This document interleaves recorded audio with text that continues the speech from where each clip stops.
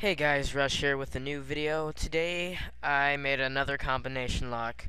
Uh, it's a door combination lock. But before I actually get into how it works, I'll show you an example on uh, actually how to do the combination.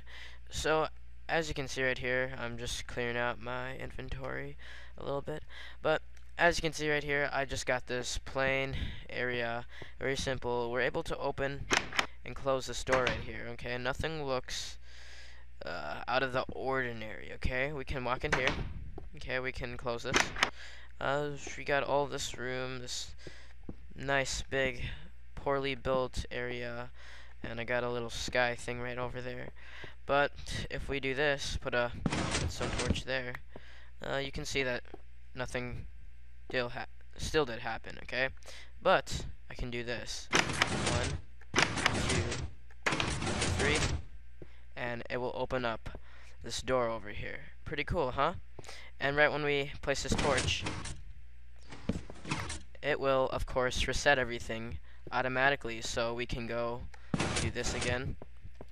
And we can do one, two, three. And then the door will open again, okay? Another feature that I did add to this combination lock is uh, this over here. We can actually select our combinations. Uh, so right now I have the option for 3, 2, or 1. So if we flip this, you can see that door will close, and then we can select it to 2. And let's, let's change that. Um, so now the combination is 2 to get out. Let's do this, okay? We can reset everything.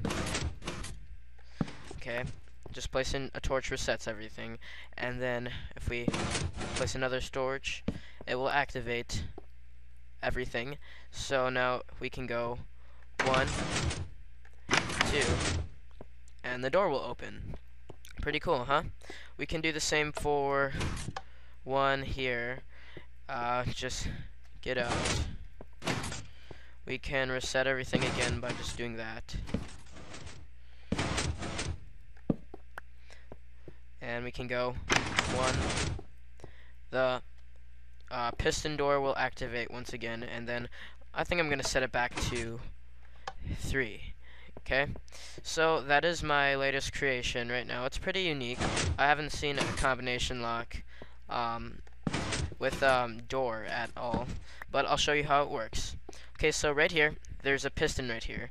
If you didn't notice, this is actually a block update detector. And what a block de update detector is, or a BUD, um, it is a device that will detect if a block has been updated. And opening and closing a door, it will um, it will toggle this piston because opening and closing a, a, door is a form of a block update. So if I activate the block updater right now by just placing that torch there, you can see that um, what I have up here. Okay, this is the block updater. Uh, it's right here. Okay, so if I do that, uh, I guess. Hold on one second. Can't do it fast enough. But uh, here, let's do this. If we take out our handy pickaxe and turn on the super pickaxe, you can see that uh, guess it doesn't want to. Can see that it gets it got updated. Okay, so every time we place a block here, it will update, as shown right here. Okay, and same thing will happen with the um, the door. When we open this door, it will activate the block updater okay, or block update detector, okay? If you want more information on a BUD, I will post a link uh, in the description for my block update detector tutorial. Okay, so right here we have a monostable circuit which goes into this ring counter. A ring counter is a device that will let you choose up from to about like four outputs, four or five outputs, okay? Uh, another thing I created, um, if you would like to see that, then I'll put another link in the description. So, right now we have redstone torches under here, okay? Now we need to get the the solid object or stone over uh, the active redstone torch to activate these pistons right here okay? So by doing that we just toggle the door. And uh, see you can see it switched outputs. We need to do this a certain amount of times. And then as you can see uh, right when we get it over the torch it will activate these pistons over here okay?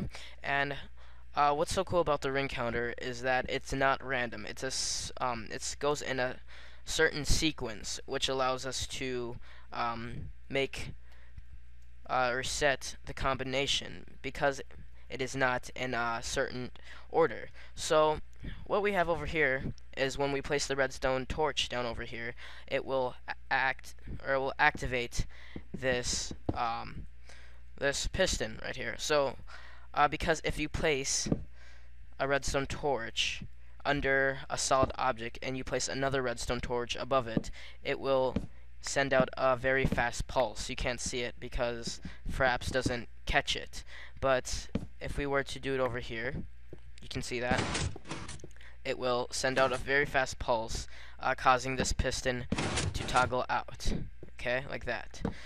And how it resets is when it's over this piston, it will activate these, um, it will activate all these inverters uh, into another monostable circuit, which will then activate these two repeaters, and I have it all delayed out, so this piston will always catch the piece of stone, and this is the point where it resets to.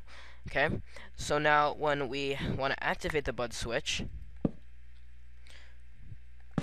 it will send a signal into this inverter right here, allowing this redstone torch to turn on to activate this piece of redstone, which will then activate this bud switch right here. And this is still at um, this is still at its starting point. So, and I have the combination set to three. So when we open this door, one, it will switch outputs to right here, and as you can see, that redstone torch is lit. If we do this a second time, two, it's in the middle now, and three, okay? And now it's over the redstone torch, which will then activate those pistons on bottom. Okay, now how the selecting of the combination lock works is when we flip the lever right here, it will invert all these inverters here, turning on the redstone torch, that is under here, okay? I can't see anything. I will turn on the redstone torch that's under here, okay? Now, th because this redstone torch is on, um, when the block is placed over it, it will activate this redstone, okay? Now, by flipping this, okay, it will turn off this redstone torch, okay, which means uh, there's no there's no signal going into this redstone, okay? So right now there is no combination set. But if we want to, let's say, have the combination set to 1, it will invert this redstone torch, causing this one to invert, turning on the redstone torch that is right over here. So now, if we were to reset this